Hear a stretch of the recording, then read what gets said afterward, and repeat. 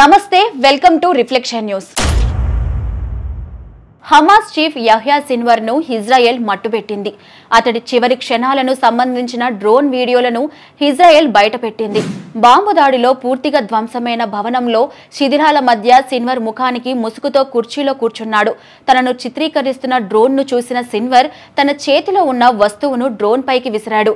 ఈ వీడియోను షేర్ చేసిన Israel defence force eliminated Yahya Sinwar అని రాసుకువచ్చింది గత ఏడాది అక్టోబర్ ఏడున ఇజ్రాయెల్పై జరిగిన దాడి సూత్రధారి సిన్వరేనని ఐడిఎఫ్ అతడిని అంతమొందించిందని ఇజ్రాయెల్ విదేశాంగ మంత్రి ఇజ్రాయెల్ కత్స్ తెలిపారు.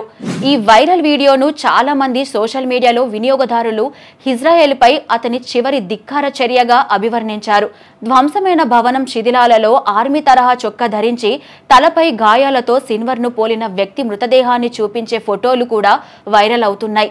ఈ వైరల్ విజువల్స్ను ఇజ్రాయెల్ బయటపెట్టి తప్పు చేసిందనే వాదనలు కూడా వినిపిస్తూ ఉన్నాయి. ఉగ్రవాదికి తగిన ముగింపుగా ప్రపంచానికి తెలియజేయాలని ఇజ్రాయెల్ ఆశించినప్పటికీ ఇది అనేక మంది గాజా మద్దతుదారులకు స్ఫూర్తినిచ్చింది.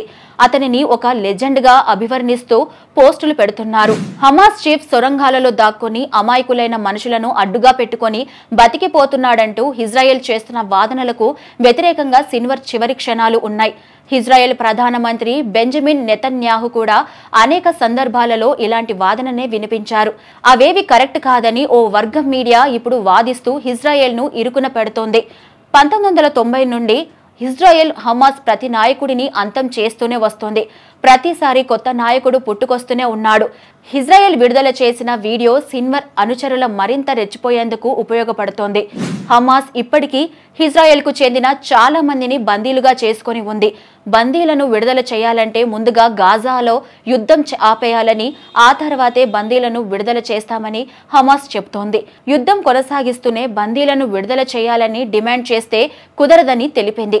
గాజా నుంచి ఇజ్రాయెల్ బలగాలను వెనక్కి పిలిపించుకొని దాడులను ఆపేయాలని హమాస్ డిమాండ్ చేస్తుంది. అప్పుడే తాము బందీలను విడుదల చేస్తామని హమాస్ లీడర్లు చెబుతున్నారు. తమ చేతుల్లో ఉన్న బందీల ప్రాణాలకు ఎలాంటి గ్యారెంటీ లేదని తీవ్రవాదులు స్పష్టం చేస్తున్నారు. మరోవైపు హెజ్బొల్లా కూడా ఇజ్రాయెల్తో పోరాడుతూ ఉంది.